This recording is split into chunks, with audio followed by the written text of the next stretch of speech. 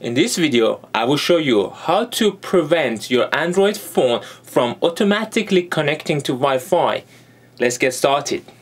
So, are you one of those people who keep turning on their Wi-Fi and then the Wi-Fi keeps turning on automatically on its own? So, I'm gonna show you how to fix it. First, hold this icon. This is a Wi-Fi icon with your finger then it gives you your connected networks and some other additional networks.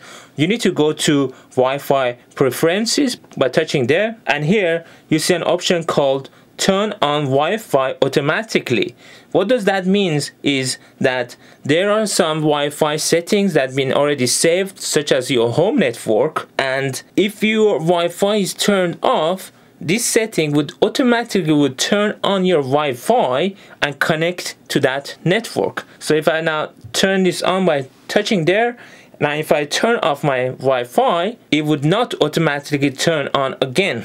It is also worth talking through some of other options that are available here. So for example, we got open network notification. If you turn that on, when your phone detects strong Wi-Fi signal, it would notify you. You might get a lot of unwanted notification if you turn this setting on and that can also drain your battery. So if I touch advanced, we have other options such as auto network switch. Auto network switch means if you have Wi-Fi on and your data network on and your phone detects that your Wi-Fi is not as strong as your data, then it would automatically switch from your Wi-Fi to your network and vice versa. It can be useful, but I rather do it manually. And then we have auto connect these are the list of Wi-Fi. So if I touch it it will show me the list of Wi-Fi's that I've already been connected to before. And if my phone gets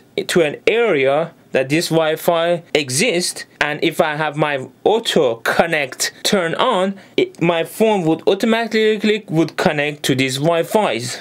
So auto connect Wi-Fi can be useful if you're using your phone outside your home and you're traveling a lot and you go for example through three four different places and each time you don't want to turn your Wi-Fi manually on and you want it would automatically switch from your data provider to a Wi-Fi also here you have an option to turn off the already saved Wi-Fi's so that it would not automatically connect to already saved Wi-Fi's. For example, you don't want to be connected automatically to your home network because you do that manually anyways, but when you take your phone outside your home, for example, to a service station or to McDonald's or any other shop, you want to be able to switch automatically to other networks. So it's a good idea to turn off the ones that you don't want. Just a quick reminder, if you disable turn on Wi-Fi automatically, then your phone shouldn't connect to any network automatically.